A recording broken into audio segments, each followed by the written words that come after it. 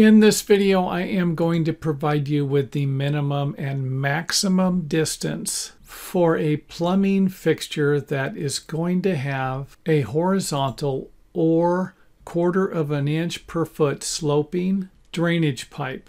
Now, these numbers here are the ones that I used when I was doing a lot of work and the ones that I would suggest using today. However, the International Building Code book provides us with a different set of numbers. So, to verify the numbers in your area, you need to make sure that you check with your local building department. So, let's just say you need to move the sink and you're going to use an inch and a half line.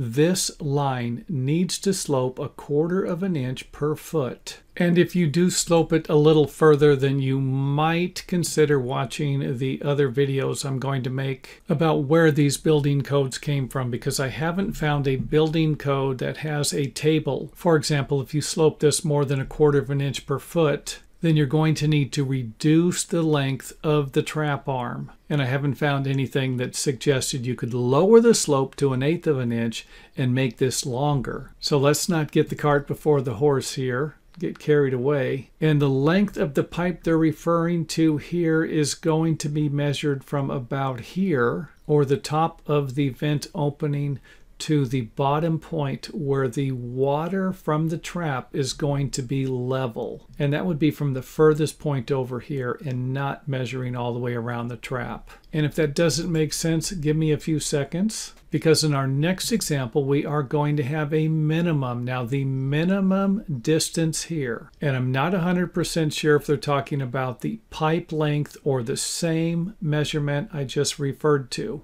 is going to be twice the diameter of the pipe. So if you're using an inch and a half diameter pipe, the minimum distance here is going to be three inches. And this was actually something I wasn't aware of until I made a video on one of my two-story home additions where a plumber pointed that out to me. And even though you might not ever run into a situation like this on a sink drain, you could run into it on a laundry drain. And again, this wasn't crystal clear to me when I was trying to interpret the code, whether or not they are referring to the distance of the pipe that is going to connect to the fittings, or the distances here I was referring to where the measurement would be from where the water level in the trap settles, which would be around here somewhere. And then you would measure from here to the vent opening instead of measuring the overall length of the pipe that you're going to be using